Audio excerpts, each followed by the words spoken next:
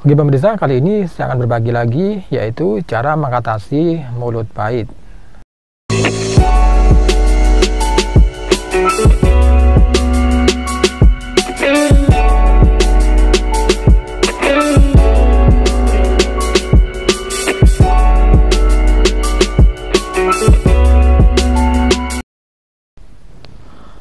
Assalamualaikum warahmatullahi wabarakatuh. Selamat berjumpa kembali bersama Herbal Ari Channel Herbal dan Kesehatan.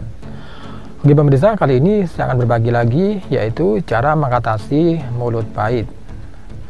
Pernahkah Anda terbangun di pagi hari dengan rasa pahit atau asam di mulut Anda? Meskipun ada berbagai macam penyebab rasa pahit di mulut Namun pada umumnya Pahit di mulut terjadi karena asam lambung naik atau efek samping menggunakan obat-obatan. Tidak hanya itu, kebersihan gigi dan mulut yang buruk juga ternyata berkontribusi besar terkait kondisi ini. Mulut terasa pahit memang akan memberikan ketidaknyamanan dan menurunkan selera makan Anda. Namun jangan khawatir, ada beberapa cara alami untuk mengatasi mulut pahit.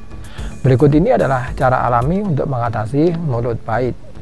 Yang pertama adalah berkumur dengan larutan soda kue.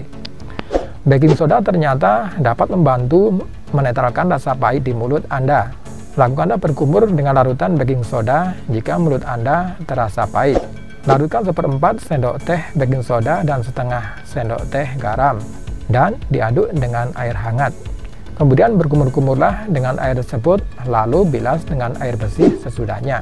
Kemudian yang kedua adalah dengan makan buah jeruk. Makan buah jeruk atau lemon bisa membantu menghilangkan sensasi pahit dari mulut Anda. Bagi kebanyakan orang, cara ini manjur jika Anda memiliki rasa tidak enak di mulut karena mengkonsumsi obat-obatan tertentu.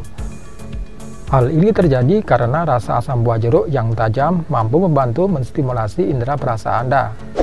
Cara alami menghilangkan rasa pahit di mulut yang ketiga adalah sikat lidah. Menyikat atau membersihkan lidah secara perlahan akan membantu menyingkirkan rasa pahit di mulut Anda. Pasalnya, lidah juga bisa menjadi sarang tumbuhnya bakteri selain di gusi dan gigi. Nah, menumpuknya bakteri di reseptor pengecap lidah ini akan mengakibatkan mulut yang bau dan berujung pada masalah kesehatan mulut dan gigi yang lainnya. Namun ingat pastikan Anda menyikat lidah menggunakan alat khusus pembersih lidah, bukan dengan sikat gigi. Kemudian yang keempat adalah jaga kebersihan mulut dengan baik. Selain berbagai cara yang sudah disebutkan tadi, menjaga kebersihan mulut yang baik ternyata juga merupakan cara ampuh untuk mencegah penumpukan bakteri dan sekaligus membantu menyingkirkan rasa tidak enak di dalam mulut kita. Kebiasaan yang satu ini mudah dilakukan, yaitu dengan cukup menyikat gigi dua kali sehari, yaitu pagi hari dan malam hari sebelum tidur. Kemudian yang kelima adalah banyak minum air putih. Ini dilakukan untuk mengurangi kadar asam di perut Anda dan membuang racun dari mulut Anda.